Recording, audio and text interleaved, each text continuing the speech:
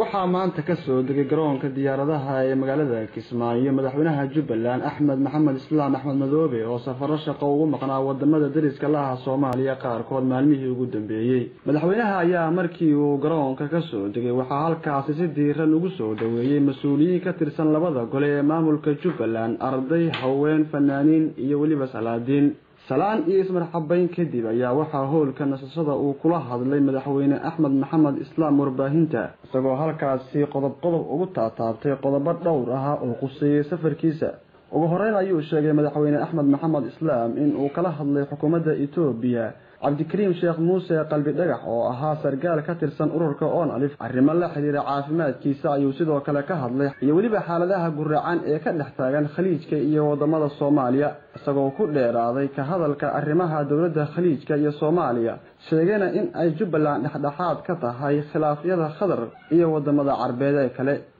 Waxaana is leeyahay safarkayga dhexdiisa waxaa aada loo helay oo ka mid ahay booqashada dambeysay ee ku soo maray etoobiya oo kale taas oo islaahi iyaduna wuxuu ahaa mid wejiga fiican sax ku ahay weliba arrinta ku saabsanay inaan amniga etoobiya weydiisto oo ninkii qalbi dhagaxa kenya isagana meeshiisu ay ii ogolaatay inaan isagiina la kulmo kana wada hadalo insha allahu ninkaasna arrintiisu haddana xaalad aada u fiican uu ku ku soo dhammaan doono insha allahu kaasa shacabka waa qodobka koowaad ee maanta soomaaliya markaan fiirino waxaa soo dhammaaday dagaaladii sokeeye tii qawaayilka waxaa lagu haray waa wax yar oo dagaallo firaq oo nimankan shabaabka oo kale. Iyo waxa kale soo dhaca waa masaalix ama siyaasi ha noqoto ama masaalix kale ha noqoto dagaalaha layska horyeeyaa waxay soo waday t m g.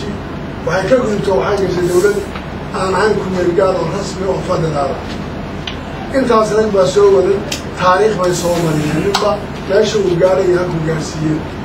dawladda maanta taalla waxaa laga sugayaa tarabkeedu markuu dhammaado inay ka tagto wax cad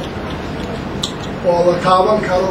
oo meel loogu soo hagaagane oo taariikhda u geli karaya oo ay noqonayso in beli xisaabtankeeda la gato dadku ay yidhahdaan aleele xilligaas waxaasaa la qabtay maanta marka aan ka hadlayno mas'uuliyadda dawladda iyo dadka iyo kulligoodna saaran. Mas'uuliyaadka jiraa waxay yihiin markaan wax iska weydiina waddanku waa federaal ciidamadu waa federaal systemku waa federaal stadiyaa la sameeyey mas'uuliyaadku way qaybsan yihiin. Maxay u qaybsan yihiin wax dawladdii dhexaa iyo wax stadiyadii qaadanayaan iyo wax noocaas oo kala dawladda dhexe waxay taagan tahay mansiladii aabbaha oo kale marka waxaa looga baahanyahana waxay tahay isku xidhnaan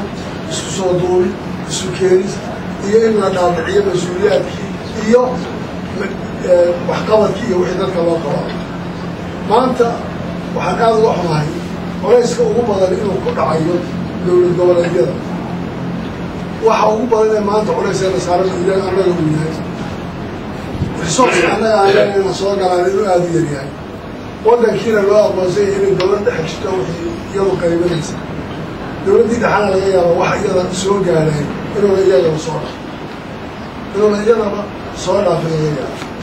ma doonayo ma aha iga dhaliil aan dawladda dhexe dhaliilayo laakiin waa toosin iyo sixitaan maro badan aan iyagana kala hadlay oo aan doonayno dawladdaasi inay noqoto dawlad taariikhda muddada ay jirtay gaadha marxalad adag oo cusub oo dadku beri lagu sheekeeyo maaha inay ka tagto social media iyo orobagaano iyo facebook iyo maxay hala sameeye maxay hala raaco inay intaasi noqoto shaqada dawladooda wax aada looga xumaado saxna maaha maanta dawladda dhexe markaan jubbaland ka hadlayo ma garanayo waxaa naga soo gaaray muddada hadda ay jirtay waa wax aada u kooban marka laga reebo shaqaalaha rayidka world bank ay mushaharka siiyaan iyo ciidan s n a oo dhowr meelood jooga ma garanayo cid kale oo maanta dawladdaa dhexe fanaha naga soo gaaro haddii la yidhaha waxa la sheego oo wax aada u kooban muddadaa wax maanta naga soo gaaro waddanku inuu maalin walba galo crisis political crisis iyo constitutional crisis oo hadda isaguna weji kale u bilaabmay. Speaker baa kan dastuurkeena waa la xaday ku kalaa kan layi waa la sameeyey. Kulligeed waa wax dhibaato ku ah. Jiritaanka waddanka iyo wixii la higsanayay aad bay dhibaato u waxaa is leedahay arrimahaasi waa arrimo u baahan dowladda dhexe inay ka fakarto oo isweydiiso oo laga hadlo laydhaha war aan wax dubino iyo kanaan keeno iyo kanaan ridna iyo kanaan kala tuuro. Sax mee maxaan dhisnaa maxaan hagaajinaa maxaan tarnaa xaggeen hore ugu tallaabsanaa in lagu fakeray asal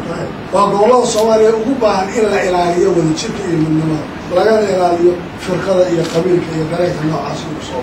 waa aad ba xasaas u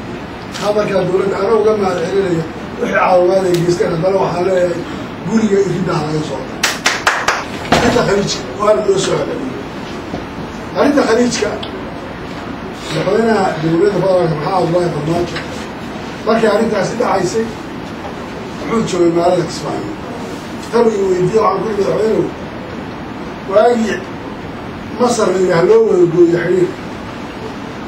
Maxamed siyaad barala nacaste wuxuu yidhi maya u diiday anagu murga dhexdhaad baan ka neeblaagin masar in loo gooyana saxma carab oo dhanna way weyso waxaan ku ihi arrintan qadar iyo barnaamijkan dhacaya. Waxaan u baahanahay inaan dhexdhexaad ka noqoto dhexdhexaad aan istaagno meel dhexaan istaagno aan ilaalina inagu sharafteena laakiin waxaa isweydiinay arrintaasi ma u socotaa sidii shalay qorshuhu ahaa. Maya way kala xigtaysatay dowladda qadar jufaa lala noqday kuwii kalena waxaa la waa burca tuugaho sidanoo kala dhibaatada ka dhacday aan miisaanka saarnaba war annagu soomaali baa. Dagaalka khaliijka in la soo xawido carada hadday dagaalamaysa ku dagaalanta dhulkeeda. Maxaa sababaya in annaga ciidda iyado ay noqoto iyo darnimada iyada iyo dowladnimada iyada midda la isku haystay dhibaatada leegeysa arrinta khaliijka dowladdu dariiq saxa ma ku ah waxay ku dhaqmaysaa ama dib ha ugu noqoto waddadii ama hadday noqoto annagu aase jubbaland iyo soomaaliya waxtarkeeda maanta imaaraadka nooga waxaysa waxaan rabaa international communitiga inaan u jeedo war waxaa soomaaliya lagu bixinaya. Aan isweydiino ma dowladda federaalka ma gaadhsiisaa waajibaadkeeda ma fulisaa dadka wixii ka dhexeeyey ma gaadhsiisaa mise wax iyada ku kooban oo dhibaato dadka loogu geysto. Royal saxane ismaaciil g t n t v magaalada kismaayo